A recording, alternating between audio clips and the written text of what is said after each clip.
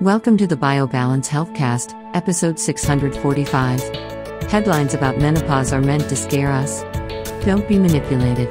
BioBalance Healthcast features conversations about anti aging medicine.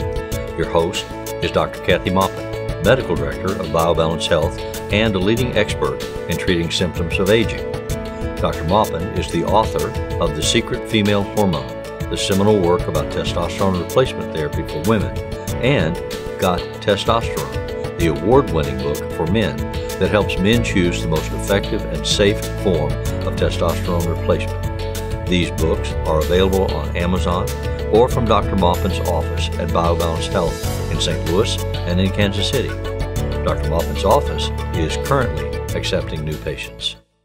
Welcome to the BioBalance Healthcast. Today we're going to talk about one of my favorite subjects, and that's menopause. So, I'm going to talk about it in a little different way this time, not in a necessarily a medical doctor's way of looking at it, but as a woman, how I feel when I read headlines that are absolutely positively made to be a lie to women, to make us afraid, to make us not do anything about our symptoms of menopause. Now, the average age of menopause is between 51 and 52. Half of our population or more of women are older than that. And we are all mothers or workers, or we all have jobs. We all participate very much in society. We're ta- bringing up our kids. We're usually the primary um, uh, worker in the house, not always. But we need to have our energy and we need to be able to get into our, our um, whatever our work is and be able to succeed. If we want to succeed after 50, we are going to have to get hormones. We are going to have to get treated for our menopause. So, traditionally, um, before 2002, we were treated in a way for our menopausal symptoms. We were given Premarin or Premarin and Provera and our mothers were treated for um, for estrogen deprivation in menopause as well. But in the year 2002, the WHI study came out and, and scared women. And it scared women and doctors because of the title. And the title was Hormone Replacement Therapy, and that usually means estrogen and progesterone, uh, cause breast cancer and heart disease those that statement is actually untrue. And if you read the study, you'll see that it is untrue. But the title went across like wildfire at that time and made every doctor except my practice stop hormones for their patients. It was the fact that nobody read the real article or the real study. And even if you did read it, it was a little, you had to have some facts under your belt to actually understand it. So, this was a play, I believe, to get women off of estrogen because estrogen is one of the highest cost items on the Medicare um, list of, of medicines. And it did. It went down to like number, I don't know, 10. So it is no longer the most expensive cost for Medicare. So it saved them money. But what did it do to us? I just don't believe in somebody else telling me or telling you uh, from a distance what I need or what you need. So, having a blanket statement like this, especially one that is a lie, uh, is is abhorrent to me. So I have to explain what this has actually done now, 20 years later. Um, I was I was at a ga- gathering of a 70 year old um, guy, and all the women at this party this past week came up to me and said, "Oh my gosh, you look so good for your age, and for you know what are you doing? What what can I do to to to look and obviously feel like you do?" I said, "Well, you know what I do for a living. I actually take my own advice." And I try to follow a proper diet and exercise regularly. And I also take bioidentical estradiol and testosterone. At that, most of the people that said this to me, and they, it was all through the night, they, they turned around and said, I don't want breast cancer, and walked away. they didn't ask me about, I mean, their fear was so overwhelming that they didn't want to know anymore. They didn't want to hear anything that I had to say, even though I would have told them that estrogen doesn't cause breast cancer. It may feed breast cancer after you have it, but it doesn't cause it. And testosterone, which is the other hormone I take, wasn't even mentioned, but that is something that decreases our risk of cancer. Some people that I've run into in the recent past who don't know me and don't know what I do always ask me my age or ask me what I'm doing to stay young. I tell them and I say that I'm taking testosterone and they and they, they flip around and say, I don't want facial hair and to go bald and walk away.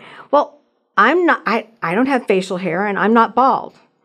And this is this is what I take. This is what I've taken for 20 years. This is not something that I just took for 2 weeks. They wanted to know what my treatment was for aging, and I told them. And it's really funny how fear has been integrated into our lives to manage our, our spending and, and manage our choices. So, sadly, it seems that this problem is being orchestrated by government, by the American College of OBGYN, who doesn't even acknowledge testosterone as one of our hormones. And testosterone is actually a higher, it has a higher blood level than estradiol before we lose both of them in menopause. So all I'm advocating is you can live better, you can lose the symptoms of menopause, and you can slow aging if you replace the hormones that you used to make yourself and replace them in the most natural way that you can. And nobody stops to listen to that part. And they don't stop to listen to the fact that they've been lied to all this time. It is so ingrained in their beliefs that fear has clouded their vision. So just imagine how terrible this is for people who can't sleep because they can't sleep, they can't think, they can't go to work and be productive. When they do go to work, people say, What's wrong with you? Why are you not doing blank, blank, blank? Why have you made these mistakes? Why? But, and they can't do any, try any harder because if you don't have your hormones, your brain doesn't work completely like it used to. It's not as fast. It's not as, it's not your spatial um, ability to see things spatially and to problem solve decrease. You need to have estrogen and testosterone at least to maintain your brain. So, what if you're a, a woman who has gained 40 pounds since menopause, but you go to your doctor and you sit down with her and she says, you know, you say, I, I need to lose weight. Maybe I should replace my hormones. And she says, that's not going to work. And, but she won't tell you what is going to work. And so you leave with no answer. The, the biggest thing that has been taught to doctors is protect yourself from a lawsuit because there are some people that believe estrogen may cause breast cancer or heart disease. And that's probably true if somebody hasn't read anything since 2002 and did not read the whole study. They could think they were an expert in this, but they're not because I've read everything since. And it is not, that's a complete lie. And it is something that doctors are telling their patients and still telling their patients, even now, because a retraction which has they've done a lot of studies that retracted this idea that estrogen caused breast cancer and estrogen or and testosterone uh, doesn't help you and you don't need it because you're not a man. Testosterone's a man's hormone so we don't get any. Well it's simply not true. So when you hear the same thing over and over again you start to believe it by the time people get to my office, they've been to three, four, five different doctors who have dismissed them. They haven't heard them. They haven't listened to the pain they've been in. And they are, um, they're hopeless. They feel hopeless. So when they give me their symptoms of depression, and of course, you'd be depressed if you kept looking for an answer and didn't find one from the experts that you always thought knew everything And if you were dismissed by a doctor who delivered your babies and you loved that doctor and they just treated like you like you were worrying about something that didn't matter and that there was no treatment for. There's a treatment for all the symptoms of, of menopause and a treatment for the symptoms of testosterone deficiency. You can't be dismissed. It's just that your doctor doesn't know enough. It's a huge problem. It's everywhere across the United States. Doctors are saying, I don't believe in hormones, or I, I don't think hormones will help you. Just, just forget about it. Just relax. Well, you can't relax if you can't sleep and you're gaining weight every time you eat anything or don't eat. Uh, when you're so tired, you can't do the things around the house that you need to do. Your motivation's gone. I mean, you're you don't want to have sex, so your marriage is going away right down the tube. I mean, all of those things are very important to women, and all of those things may be affected by your hormones and may need to have replacement to get all of those things treated. We should be treating menopause like a disease. We treat osteoporosis like a disease. We even prevent osteoporosis by giving a variety of very expensive and risky drugs when we could just give patients estrogen and testosterone. And that would prevent their osteoporosis. But it is not considered the best treatment. And they don't even look at testosterone because, of course, American College of OBGYN has still not acknowledged that testosterone is a female hormone. I don't know how they can be that blind, but they are. So I guess they just don't want to deal with us. So basically, obstetricians are trained to deliver babies and do surgery, but not trained to take care of menopause. And the biggest interest is in those first two things and no interest in us as we age. Well, we spend more time aging than we do being fertile and delivering babies. So, or having babies. So this is a very, a very difficult kind of a change to make, but they should just separate gynecology and OB and have some of the doctors who like doing OB do that and some of the doctors do GYN. But that hasn't happened and I don't see it in the near future. And they should train us better about how to take care of women to prevent the diseases of aging like osteoporosis, heart disease, breast cancer, obesity, diabetes. All of those things have to do with your sex hormones, estrogen and testosterone, and some somewhat progesterone. So, what's in a headline and why does that bother me so much? Well, First thing is headlines that are on a medical article or even a, a, newspaper article are not written by the person who wrote the article. They're written by an editor. So if the editor doesn't understand the real problem or the real subject, then the headline will be misleading. Or if they are trying to um, make a statement or trying to get readers the best way to get readers is to scare them. So they'll come back and read again to see if you've got anything else for them, any other information. Um, this is one of those uh, things that I noticed when I was the headline on um, on television when the former governor of South Carolina, Nikki Haley, who is 52 years old and menopausal, is uh, she's running for president, and one of the people in her own party described her at 52 as over the hill. When they are touting candidates to be president who are 80 or over 80 male of course because we would they would never allow us to be there at 80 because we might like we might have a hot flash and not be able to make a decision this belief is even gotten into the political realm, and it, it's it is really crazy. But some of some of the things besides that on television, some of the things that are in um, in the news, I I have several different articles titles that I just picked up in the last couple of weeks that make people afraid of menopause, but don't give us an answer.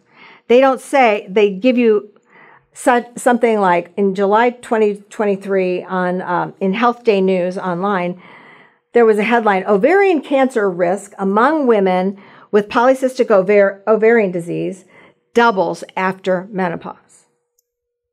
So, they don't say that it doesn't double. You can prevent that by taking hormones and suppress the activity of the ovaries. They don't say that. They just say, oh no, you're menopausal. Now you've got a new thing to worry about. You've got ovarian cancer to worry about, which is very rare and um, something that uh, usually runs in families. And, and I've only seen two or three cases in my 29 years of doing OBGYN. So it's not something we should all be worrying about. And it's not a lot of patients if you double the number. if, um, if you're menopausal and you have polycystic ovaries. So this was a non study, a study that really doesn't apply to most of us, but it scared people. It scares women. They're afraid of ovarian cancer because things like this keep coming up in the news, not in, in real medicine. So then the, the next title is Women who undergo bilateral oophorectomy, that means taking both ovaries out, before menopause have a greater risk of developing Parkinson's disease years later. They don't say if you replace your hormones, then that risk goes away. They just say if you're menopausal, and they're assuming you're not taking anything for that, and that's the study was done on people not taking hormones, then, and you've had your ovaries out, then you're at risk for Parkinson's disease, another scare tactic. Um, then we go to, um, that was in Health Day. Then we go to another online um, magazine. Removal of both ovaries before menopause tied to risk of chronic health conditions. Okay, well, if you take your ovaries out and don't replace your estrogen and testosterone, then you are at risk for osteoporosis, diabetes, heart disease, all kinds of cancer, obesity. All of those things, the diseases of aging, do increase in risk if you have no ovaries or if you are in menopause. But they don't if you replace the hormones. The risk goes back down. That's never said in any of these articles. And last but not least, gout risk, gout, which is a, um, a disease usually of men, uh, usually related to eating too much red meat and drinking too much alcohol, and it is a genetic type of risk. But this title said gout risk higher for postmenopausal women. That was in Healio, um, and I on August 14th of this year. So every place you look, menopause means you're going to get sick and die. It just makes women depressed. It makes them feel like they don't have any hope. You're menopausal, nothing's going to help you, honey. You're just going to get sick and die. So, what that does is decrease your ability to have energy enough to go get some help or to demand help or to, I mean, even question your doctor when he says, I don't believe in hormones. And you say, I'm hot, I'm hot flashing, I'm night sweating, I can't have sex because my vagina is too dry, it hurts, I bleed from my vagina ripping during intercourse. And they, and doctors without compassion just say, nah, you're going to have to live with it. Just suck it up. Well, that's not what we say to people with cancer. It's not what we say to people with heart disease. It's not what we say to people who have diabetes and need their leg cut off. It's, it's not what we say to anybody with an illness. Menopause actually puts us in a position of having an illness. We need to be treated to get back to where we were before menopause. And we can be healthier and live longer and have more full lives if we actually understand that and demand what we need. We need to demand that from our government. We need to not buy into all this brainwashing. And we need to demand it from our doctors. And if your doctor doesn't listen to you, hear you, want to treat you, don't wait 10 years before you leave. Just leave. If they don't want to help you, then they're not doing their job. So go find another doctor. That's my that's my answer to this and find treatment because you deserve it, you need it. You had the babies, you took care of the family, you've done all the work, you hold a job. I mean, in general, women are doing twice the work they ever were meant to do. And we need to be taken care of so that we can continue to do this work and continue to excel in our fields. So please please hear me. You have the right to change doctors. You have the right to complain. You have the right to get the treatment that you need. I'm glad you were here. I hope you heard me. and I hope you feel good about finding a treatment for your menopause. Email your questions or comments to podcast at biobalancehealth.com. You can find the BioBalance Healthcast on iTunes and on YouTube.